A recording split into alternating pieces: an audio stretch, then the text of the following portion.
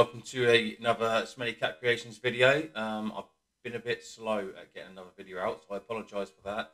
Um, I've been pretty busy with getting stuff done in the background of Smelly Cat Creations. Um, I've been working on some new product ranges, ideas, and also the workshop is in a right mess from waiting to be insulated, and the garage is also in a mess. So um, I've been I've been working on that in the background, but I, I am going to plan to get back to making some more YouTube videos of making some products. But this um, this video is just a quick one, which is a bit different from uh, my usual making videos. This one is just a sort of a small business uh, video and payment transaction fee video. Obviously, with um, COVID that's been going on a lot of people have been working from home or they've also been trying to start up their own businesses. There's a lot of people out there now trying to create their own small home business. Um, I've also obviously been working on trying to make Smelly Cat official and with its own payment system and turning it into a more substantial daily business. Um, so, along with that, what I want to talk to you about here today was transaction fees and payment merchants. So if we jump across to the screen here, everybody knows PayPal. Most of you out there will have a have a PayPal account, use PayPal.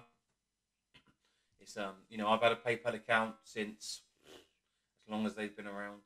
Used to do a lot of selling on eBay, um, and I, I was getting into Etsy, started to sell on Etsy. Um, but what I've moved, I've now completely moved away from that. Uh, a couple of months ago, I had an issue with PayPal where, for no reason at all, well, no, no reason as far as they could see, when after investigating, my account was seized. Um, they seized my account. They seized all payments in my account, and they put a six-month lock on it, and said that they would need to look into the transactions and that I couldn't have the money back for up to six months. They also told me that I would no longer be welcome to use PayPal again. I was banned from using PayPal. Uh, all this came as quite a shock uh, from just opening an email in the morning and finding I could no longer use PayPal. And this then got me into a bit of a panic because it wasn't such of a personal thing that it bothered me on, even though it's I use PayPal a lot for personal eBay purchases.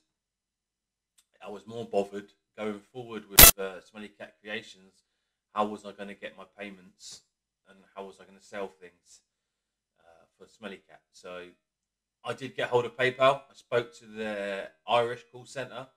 The man was very helpful, very kind, and he told me there was nothing he could do about it. He said he's looked at my he looked at my transactions in my account. He said as far as he can see, he can't see any reason what any why it's been blocked. He, it looks all fine to him.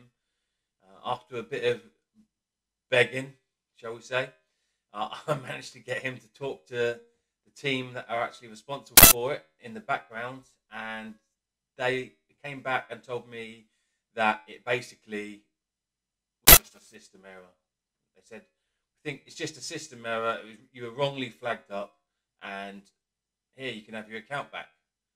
So that was a bit of a change from being told I was no longer welcome to use PayPal and seizing my money to, oh, it was just a system error, here, have it back. Uh, which made me decide I no longer wanted to use PayPal as my primary payment revenue um, merchant. They can seize your account at any point for any reason of their own.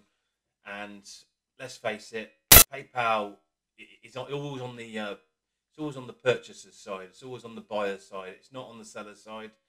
Um, most of these platforms work towards helping the uh, the purchaser, the buyer. They're, not great for the seller. So what we can see here is our PayPal screen. PayPal's standard costs for selling on places like eBay, etc is 2.9% plus the fixed fee. The fixed fee, so I believe, where is it? UK, UK. 30p. I think it used to be 20p, it's now 30p. So no matter what the price of the transaction is, even if it's a two pound item, they're going to take the thirty p, and then they're going to take two point nine percent also of the of the transaction fee. Um, so they're not the cheapest when it comes to, to transaction rates and fees, especially when you start putting a fixed fee on low transaction costs. So I did some research, decided I didn't want to use them anymore, even though I'd got my account back. And I looked at this place. I looked at this company called SumUp. They seem to fit in with everything I wanted to be doing. So with SumUp, it's completely free. Uh, this isn't a sponsored video, by the way, but there will be a referral link in the uh, description if you want to use SumUp, and that would help me out for making future videos, etc. So with SumUp, they do. I can take card payments. Let me just grab this. So what we've got here, I've got my card reader. That links links to the app on the phone. Also takes contactless payments, or they can use their chip and pin. Card can go in the top of the card reader. Um, that's all by Bluetooth. Charging port on the bottom. So you've got your card reader, and you can take card payments. So if you're doing little market stalls or you're doing craft fairs, you can take card payments from people for your sales, and they're only going to be taking 1.69% um, transaction fee against your card payments. So that's a very low fee. Uh, it's a good fee. I've tested it on my own, on one of my own cards. I just wanted to check out the chip and pin and the contactless worked. So I tested that. That all went through fine. So you've got the option for the card reader there, but more importantly, you've got an invoice system that you can send out invoices to customers here. So you've got the invoices and they take 2.5% transaction fee for invoices, but and there's no fixed rate fee, so you're not paying that 30p per transaction. You're just paying 2.5% um, against the, the, the value of your invoice. It also offers you lots of other options, like you can send out payment links. You can sell gift cards. So if you're a jewelry maker, etc., you can do gift cards for people to give out at Christmas, birthdays, and they can then come and buy jewelry from you. There's QR QR codes that you can give out even for donations. So I'm possibly going to add a donations QR code to try and help fund channel some more. That might be in the future. Who knows? Uh, but let's move over to the actual page of SumUp. So I've just registered. This is just a, a temporary test one that I've set up just to show you. So I've set mine up as a sole trader. Uh, that's obviously what I'm trading as, just under a sole trader. Cat Creations at this stage is not a limited company. Um, in the future, it may move over to a limited company, but for now, it's all going under sole trader. So these are the details you need to fill out. So obviously in here, I just had Cat Creations, uh, type of business, services. I think I've got mine down as, or other the retail. Um, put in your details, save and continue, and then what you get once you've finished all this is you've got your dashboard. Your dashboard, when you come into here, it will tell you here how much you've made, how much you've done in invoices this month, um, what your average sales are. So your sales page, this would normally show you all the sales that have gone out. Um, so mine would normally just show all the invoices and the payments I've taken from them. Payouts. So uh, with SumUp, you have two options. You can either have it transfer the money out to your bank account, or you can have it transfer the money to a SumUp card.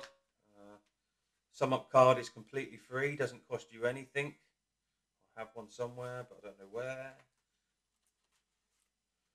So there you go you get sent a you get sent a SumUp Mastercard.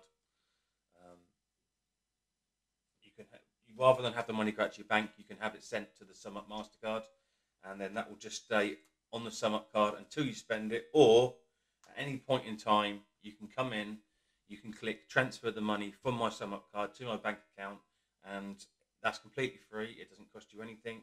It will then pay out to your bank account, and you can also set the time period that you want the payments to be paid out at. So you can have you can have them pay you out daily, which is what I have mine set at. They'll pay you out daily, send the money over daily, weekly, or monthly. I have it daily. They pay out, no problems. They send you an email to say this is how much we've paid out today that you've received. Job done. You've got you'll have your reports that you can come in and check different things. And now another option that I was very interested in was SumUp. Um, and there's many other. There, SumUp isn't the only one. There, there's many merchants out there that will offer very similar features to this. This was just the one that I decided I want to go with. Um, you can have my products. So basically, SumUp will give you a free online store where you can send people the links and they can go and buy your the products from your online store, that'll all then go back through your SumUp account, and they'll use their same low transaction fee because I was using Etsy, um, and I was absolutely shocked at how much Etsy take from every sale, every transaction. You know, I was I was selling um, items for like 20, 20 pounds plus two pound fifty postage, and I was getting about nineteen pounds in return. Some people might think that's not bad, but to, I thought that was disgusting, especially when considering some of that was actually postage and packaging. So they were taking the money from the postage and packaging as well. I know eBay do this, but I, think the fees were too high considering Etsy wasn't actually bringing me much traffic um, anyway. So I've now shut down all my sales on Etsy. They, they no longer. I've taken every product off of Etsy, and I'm I'm starting very slowly to move items over to the SumUp online shop, which also offers you options to later upgrade. This is the sort of basic store you're going to get. So as the basic store that's completely free, here's each product you see. You'll only actually get one picture per product on the free store. But if if you want to upgrade the store, there is a monthly fee, and I won't do that at the moment. But if if I start getting a fairly decent amount of sales, I will um I will upgrade. I think the first upgrade is something like twelve pounds a month, but then you get some SEO included with your store, know, multiple uh, images per item. So I do believe that is something that in the future I will end up moving across to. Uh, these aren't highlighted here because I haven't put any products in, but I like the idea of having the store. And then you've got so the refer a friend. This is what I'll put my link up for. This isn't my this isn't my link. Don't use that. I will put my link up if you want to use it. And here's the card readers you can have. So as you can see, I've just got the basic one, the Air Card reader. It's the cheapest, most basic reader. I didn't see the point in upgrade in having one of these expensive ones. Um, if you do a lot of markets, stalls, a lot of craft fairs, maybe it might you might you know you might prefer to have this one that gives out a receipt as well and it's got its own 3G, so you don't have to pair it to your phone. You don't have to Bluetooth it to your phone. You can take the the payments independently without having your phone. Mine, you need the phone as well to put the card payment in, but being able to take the card payments is, is a is a good option to have there. And basically, yeah. So this is this is my way, the way I'm moving forward. You can if you think this might suit you, you, if you can drive the traffic to your shop yourself through Instagram, now TikTok, you can have, use that. If you've got your link on your Linktree account, um, if you can if you can get the traffic driven to your own shop on like on, on a platform such as SumUp, you're going to be paying much lower transaction fees. You you're not going to have to keep giving out your money to companies such as Etsy um, and all of these big corporate companies you got you know obviously since lockdown we, we've we've been we've all been buying a lot more from places like Amazon. As I've said before, you know, Amazon, Jeff Bezos, richest man in the world, one point one hundred and thirty six billion pounds he's worth, one hundred and thirty six billion pounds, and yet I love Amazon. Half of his staff in his warehouses on zero hour contracts and they, they struggle to get their payments, their wages. Who's benefit? The big bosses benefit. So I want to promote people to support small businesses and also follow your dream. You know, all I've ever wanted to do was run my own business and to, to do my own thing. And I'm not getting any younger, and I've never taken that leap. It's very hard to try and take that leap when you've got mortgage, you've got bills to pay. But I'm not getting any younger, and I when I go to my deathbed, I, I want to be able to say I at least tried. Even if I fail, I want I need to try, just just for my own satisfaction. So if you've got a dream, have a dream, set a path, work towards it. You know, you, you can do something that you really enjoy doing, that you love doing, and you can try, try and make your living and your income from that. You you don't have to just be putting all your money into the pockets of the one percent wealthy. Um, I'd love people to go out there and to try and do what they love more, rather than just just sticking to being a sheep, because that's what the world wants. It wants you to be a sheep, follow the instructions, pay your bills. Whereas you could be, you can be a maker, make your own products. Let's support each other. Let's support small businesses and move things forward that way. So this was just a quick video on the payment system. Um, take a look at SumUp if you like the sound of it. Uh, I will be doing some more making soon. Got some branding irons I need to get out there making today.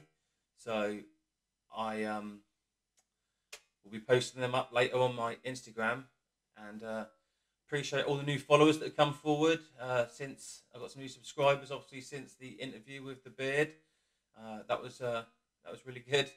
And uh, yeah, if in the comments add anything that you'd like me to make a video on. Obviously, there's the lasering, there's the CNC routing. I try to do a bit of everything.